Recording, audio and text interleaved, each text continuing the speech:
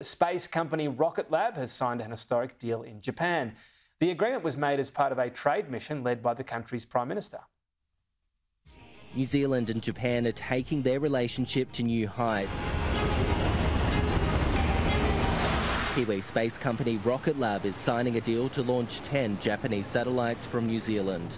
This is one of the largest uh, uh, contract launch contracts uh, in in the small launch uh, space history. The technology, from SEN's perspective, uses sensors to monitor infrastructure on Earth.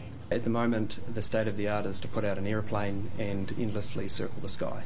Uh, satellites such as these, uh, you know, are able to identify vessels and, and, and articles out in out in our EEZ that um, uh, would be very very difficult to, to find in, in other means. The shape of the infrastructure or ground terrain or like that, uh, we can capture that uh, data under any weather condition and even in nighttime and that's very, very important, as, as Dr. Rai uh, is, is, explaining, for uh, natural disasters. Um, things like that, where there may be uh, ash in the sky or a bad weather event uh, where you cannot penetrate the ground using traditional optical methods.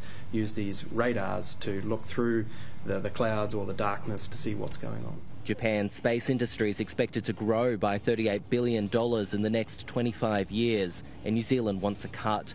The country is in prime location for launches. Uh, New Zealand is a place where we think there is huge opportunity for more for us to do in the space sector.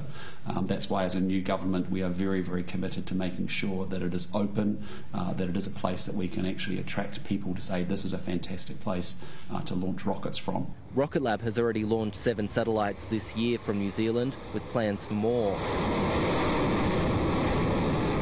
two countries moving to boost trade in a futuristic way. In Tokyo, Japan, Jack Nyhoff, Sky News.